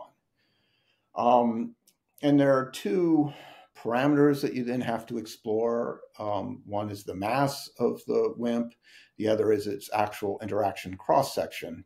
So you can say it interacts weakly, but you have to go through all the theory to figure out what that interaction strength is, and therefore how often it will interact with your giant bubble chamber made of xenon or, or whatever you've constructed. Um, and so there were early predictions, and the mass was thought to be about 100 times the mass of a proton. It could be over a big range, but shouldn't be less than 2 GeV. It could be thousands, which is annoying because the signal in these dark matter detectors is maximized when you have an elect- elastic collision mediated by the weak nuclear force. Uh, and so the detector is most sensitive to things that have mass equal to the uh, nuclei that it's bouncing off of, be it xenon or argon or whatever. So you want, you would hope it's something around 100 GeV, 100 protons, um, give or take. And that was the early prediction, um, but it was a ballpark thing. The early interaction number was about 10 to the minus 39 per square centimeter, and that was excluded very early on. People build these detectors if it had been that interactive, which is a very small number, but still, you know, particle physicists are really good at this. Uh, and if it had been that interactive, we would have seen it. Uh, and since that time, they keep building bigger and better detectors, and they have pushed the sensitivity down by nearly, you know, eight orders of magnitude, something like that. Um, it's an amazing accomplishment. It's like going from you know a soccer pitch to something on the moon um, in terms of energy scale, um, and you know we're still aiming for the same goal. Um, and so I would say that uh, the experimentalists have succeeded in failing. That is to say, if the dark matter particle were really the WIMP that most of us, including me, uh, had been expecting, we should have seen it by now. Um, and in fact, I will make a sociological prediction is that as these experiments continue to improve, they will hit the neutrino background, right? There should be a astrophysical background from all the neutrinos from all the supernova that ever went off. We don't know exactly where that is, but they're getting close to it. And so when they finally hit it, they're going to say, aha, that's the dark matter. And then, you know, six months later, they'll say, oh, no, we just hit the neutrino background. Um, Because that's how these things have been going. And um, people do make this um, lamp light analogy that we're looking at this because that's where we can see. And that's true. We can build experiments that do this. But all we've done so far is crank up the luminosity of the street light, and we're still not seeing anything there. Um, and so then the question is okay, well, what else could it be? It could be anything, right? They're very good at coming up with ideas. As Simon says, it could be something that doesn't interact through the weak nuclear force at all. Um, and then we only know about and it. And then we won't see it in any experiment uh, yeah. of that type. Yeah. But let me talk about a different experiment, which is the Gaia satellite. So that mm. was launched by European Space Agency. And again, we've seen headlines saying Gaia results spectacularly confirm MOND and spectacularly disprove MOND. And uh, so I, we're with you those of us who are just sort of lay people bystanders are a little bit confused. What, and particularly these things called wide binaries. So can you explain, either of you, what are these wide binaries? What what were the results, and what do they mean for dark matter versus MOND? Okay, so I'm reluctant to get into this because I know all the participants about this, and this debate has gotten you know hot. Uh, and in fact, if if your listeners are interested, I have a series of blog posts on this at Triton Station, so you can go and look those up. Um, but basically, a, a, wide binary is a pair of stars that are orbiting each other, just at very wide separations. Um, and when you get far enough apart, then you should be in the Mond regime, right? So the solar system is entirely in the Newtonian regime of high acceleration. You don't get to uh, the sort of acceleration scale of Mond until you get about 7,000 AU away from the sun, roughly speaking. That's a long way, right? Neptune is 40 AU away. So we're, we're nowhere to probing that with solar system data except maybe for the Planet Nine thing, which we can come back to if you like. Uh, but so anyway, Gaia has now made it possible to identify candidates of binary stars, some of which are in this uh, regime, where if it's just a straight modification of gravity, then you ought to see the same kind of uh, effect that you see in galaxies. You get into the lower acceleration regimes, and the orbits are faster than uh, you would predict with just Newton and the star's mass that you know about. Um, so in principle, it sounds like a really clean test. Um, in practice, you don't get to watch one binary star orbit over and over. Well, that's interesting. Um, Wow. You, I thought you were animating the. Uh, How did you do that? Um, maybe it's this. I don't. Anyway, um, you, you, don't get to watch one binary go around. You have to make a statistical argument about the speeds for many, many binary pairs. Um, and so there are these contradictory claims from different groups who have done this exercise, and some claim to see a Mond effect, and others claim to exclude such a Mond effect. And I think, like the debate about the Hubble constant, is going to take a long time to sort that out. What about you, Simon? Have you looked into this Sky results? yes, think? actually, I'm a participant in a long-term observing program in Chile using the, uh, the European Southern Observatory telescopes to monitor candidate very wide binaries to measure the velocities separately. And it's a very tricky business because you have to measure very small velocities and you have to rule out that the velocities could be due to other things like unknown planets going around either of the stars close enough in to cause a, a velocity or another companion star and various other things.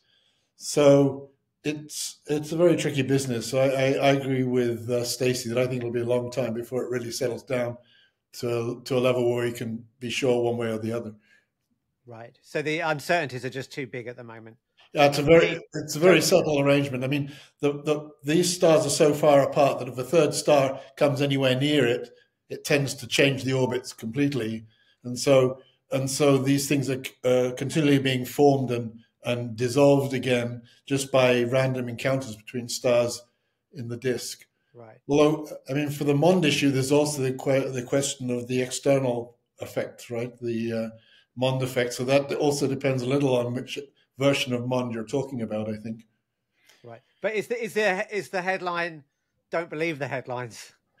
The, yeah, the, the, headline is the the jury's out, and it'll be a while before there's any consensus. I think. Right. Right. Okay. I mean, is there any connection? There are other mysteries in the cosmos where things don't seem to match LCD, you know, lambda cold dark matter model. In particular, we've got this issue of the Hubble tension, two um, different ways of measuring the expansion of the universe, and they don't seem to match each other, um, and they should. And then we also have this S8 tension, um, where the universe, you know, doesn't seem to match how smooth it should be. Uh, could these be related to dark matter and modified gravity? These sorts of issues, or are they are they just completely separate mysteries that we shouldn't really worry about for this issue? I think the first one is unlikely to be related to dark matter, although even that's not excluded. The second one could be. The second one is essentially a problem between the amplitude of fluctuations that you measure by doing dynamical measurements in the nearby universe. Uh, uh, sorry, by doing lensing measurements in the nearby universe, and the amplitude of fluctuations that you measure looking at the microwave background and that's got getting murkier with time, in fact, because it depends which lensing measurements are used in the nearby universe. Most of the publications have been using uh, lensing as measured by very distant galaxies. But actually, you can use the microwave background itself, which is also lensed by everything in front of it, to measure the strength of lensing in the nearby universe. And the most recent measurements using, using that don't find the tension. So now it even looks as though it may depend on exactly which uh, background source to use to measure the lensing strength, whether there's a tension or not. So again, there's another case where the jury's out. Right. And for the Hubble tension, most of the resolutions that people are suggesting, assuming it's fundamental physics rather than some kind of observational systematic, are not really they're addressing the aspects of the dark energy typically rather than the, the dark matter. But uh, Stacy, do you have any people are creative, so I suspect there are there are dark matter versions as well. So, so yeah, I've worried about this a long time, and by coincidence, I, I just resubmitted a paper that touches on some of these issues. Um, you know, one of the things that convinced us all that lambda CDM was right was the concordance of many independent observational constraints, the shape parameter from large scale structure, the baryon fraction of clusters, the age of the oldest globular clusters. Uh, and if you do that exercise again today, then you get basically a WMAP3 cosmology, which is to say uh, Hubble constant around what the local values are, 73, um, and a lowish mass density uh, omega matter of a quarter or something like that. Um, and that's different from what the Planck satellite best fit gives you, which is, of course, uh, 67 for the Hubble constant and more like a third for the matter density. And, you know, for us old people, those seems like small beans, the differences. Um, but they're they're real. I think the tension is real. Having just gone through this exercise, it's it's getting very hard to reconcile the local measurements um, with something as low as 67. Even the, the lowest one that that's sort of got small error bars is 69.8 from uh, uh, the Carnegie Chicago survey, uh, which is lower than the 73 from from Adam Riess and his collaborators, which is a little lower than 75, which is what Tully is getting, which is what Jim Schombert and I got um, from Tully Fisher. And but even if you go to 69, um, you're not really in agreement with the 67 because also you have to worry about all these other things, and so you're still get getting a lower mass density than what Planck wants um, from all these other constraints that we've got to satisfy.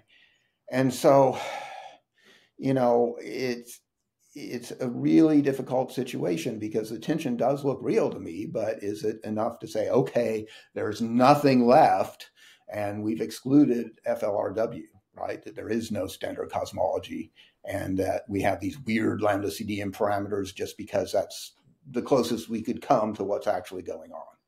Um, you know, if I put on a cosmology hat, I say, no, that's silly. It's just, you know, these tensions will get sorted out as we go along.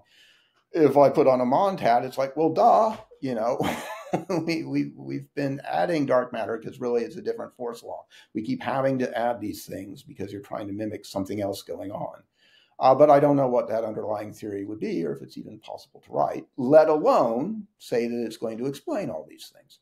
Um, so I, I, having done this for longer than I'm care to admit, it's it, I feel like we're up the proverbial creek without a paddle. Right. All right. So let me just do two last topics, and then we're going to finish a conversation. Um, firstly, I want to ask about the sociology of science. Um, science, of course, has to be open to new ideas, but on the other hand, it has to be very rigorous and not admit new ideas into the cathedral of knowledge without them being very, very well tested. Um, do you think we're treading the right line at the moment? Has science basically getting it right into its attitude to these ideas, or um, or not? Simon, why don't you start us off? Here? Well, you talk about science, but I think we should talk about scientists, and it actually depends which scientists you're talking about. So both both, both Stacy and I can think of colleagues who are on both sides of this. I'm sure. So I think every every person has to has to think about this seriously and make up their own mind and be willing to justify their point of view. So, for example, something which worries me a great deal is, uh, you know, Stacy. You know, I used to think of Stacy as the young scientist, but now he's already thinking of himself as old.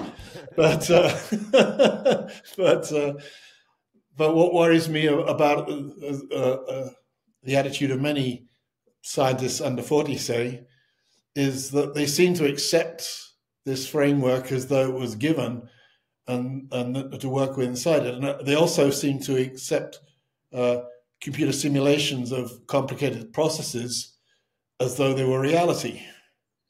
And I think this is, is really very dangerous because you know gal- galaxies are extremely complicated objects with many processes which we know are active and important, which act across many scales and couple scales, all the way from you know the event horizon of the central black hole to the gas distribution uh, a megaparsec away, and all, all these processes are strongly coupled. So they're very complicated objects. And when we try to simulate it, because the processes are coupled, we have to try and simulate all the aspects that are relevant to the things that we want to discuss. And most of these aspects are simulated, you know, if, if you're lucky, if you're charitable, you'd say this is they're schematically. Uh, if you're uncharitable, you'd say they're just put in by hand. And so you you have a, an incomplete and an inaccurate simulation of, of an incompletely observed system. So how do you decide when you've learned something is is true or not, and how do you actually make any real progress in your knowledge of what you can say is true about how galaxies formed? And I think this is actually a very complicated question. It's not one that people think about enough. And so this is very related to exactly what you just said. What about you, Stacy? What are your thoughts on this? Uh, well, exactly. There's there's a lot of sociology here, and you can again look at the fine grain of individuals, and you can find reasonable and unreasonable people in all fields. Uh, I agree with everything Simon just said, um, and I have noticed um, in trying to just talk to some of the younger people who do simulations that they do seem to uh, assume that all the pieces that they inherited are correct and they're just working on the new version. And you know if you're like simon and wrote the original versions then you say what simon says. Um, but you know i have um, noticed a lot of sociological effects as being you know i'm here representing the the the uh, underrepresented voice right And uh, I think Simon and I could swap places and, and do an equally good job, but most people could not do that. Um, they're very, it's very tempting to get embedded in the paradigm. The paradigm that we're taught is Lambda CDM. In fact, uh, five years ago, I mentioned to uh, one of my postdocs at the time that you know we we pretty much expected there to be lambda before the supernova experiments were done. And he's like, "What? Uh, I was taught the supernova discovered lambda," and it's like, well, the history is a little more involved than that, but it's an easy way to teach the subject, so people grow up believing that. Um, in in the case of the dark matter debate, it, I've noticed it really depends on field um, the people, the, the, willingness of people to contemplate how, uh, different from the standard cold dark matter picture really uh, correlates with their proximity to cosmology and particle physics, anti-correlates, I should say. Um, you know, if you're not deeply invested in there being dark matter, then it's not too hard to think about that being a possibility if you spent your entire career at the bottom of a mine shaft and you don't want some silly astronomer telling you, yeah, yeah, no, you're looking for the wrong thing. Um, and, and, and I get that. And I have many times had the experience of, of you know, mm, certain people wanting to kill the messenger. I'm sorry, you know, if I could say, um, you know, MOND predicted the wrong thing, I would have said that. And I do say that for things like clusters of galaxies, but it does predict the right things for the experiment that I did. So I don't feel I have the liberty to say it's just wrong or dismiss that that means something. The trick is figuring out what it means. And so the sociology right now is deeply invested in this dark matter paradigm. Um, we've gotten past it having to be WIMPs um, but it still has to be dark matter for most people. Um, and okay, but then how do you explain these things? And you know, it could be that what Simon says is correct, that eventually that we'll figure out how to to do that in simulations. Um, but I think the deeper question is how do we know that we're wrong? Right, a, a science should be falsifiable. And if we've excluded WIMPs, okay, well, axions or something else, let's check that. Okay, if we exclude those, then uh, we can make up something else and something else and something that we can never hope to detect. And, and it's not really falsifiable, is it? So, uh, you know, that might be right. That might be what the universe is doing. But sociologically, we've already accepted that before uh, we've actually determined it. And, and, again, this is why I get very cynical about these things, really, is that we can keep inventing new dark matter particles until the, the cows come home. And as a group, sociologically, the particle physicists are happy to do that because that's what they do, right? Okay. so let me let me let me go to the very last topic as we're, we're running out of time here. Um, let's look to the future. Is there anything on the horizon, new satellite missions, new ground surveys that could help us sort of resolve this issue?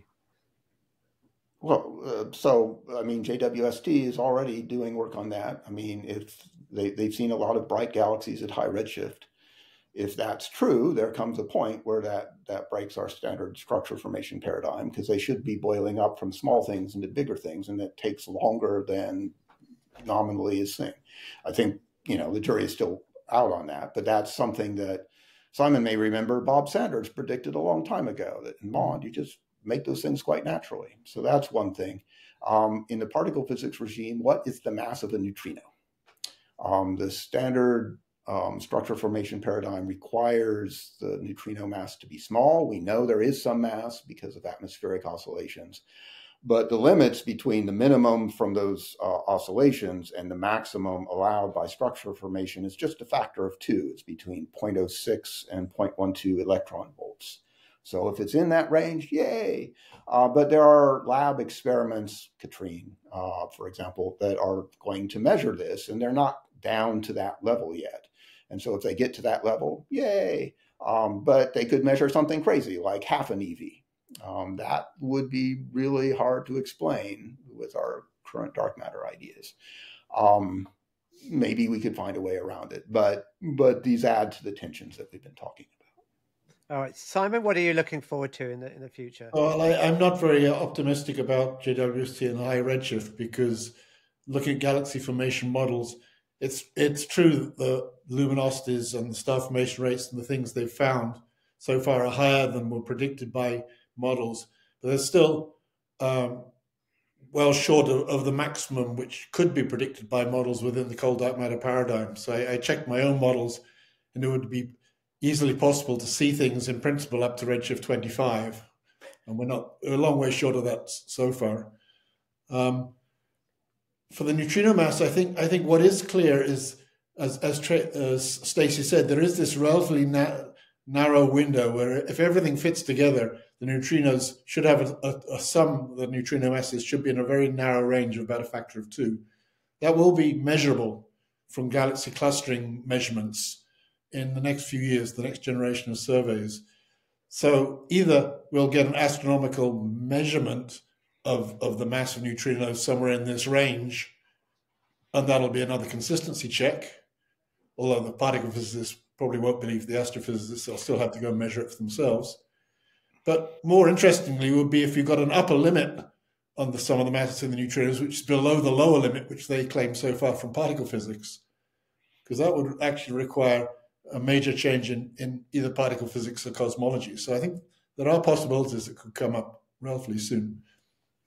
Great. Well, we'll keep our eyes firmly on it and we'll see, we'll see what happens. Stacy, Simon, thank you so much for this conversation. It's been incredibly uh, useful. I've learned so much and I hope other people will too. So thank you very much, guys. All right, then. Thank, thank you, you, Phil. Thanks, Stacy. It's been a pleasure. Yeah, it's good to see you, Simon. okay, so I'm just stop the recording.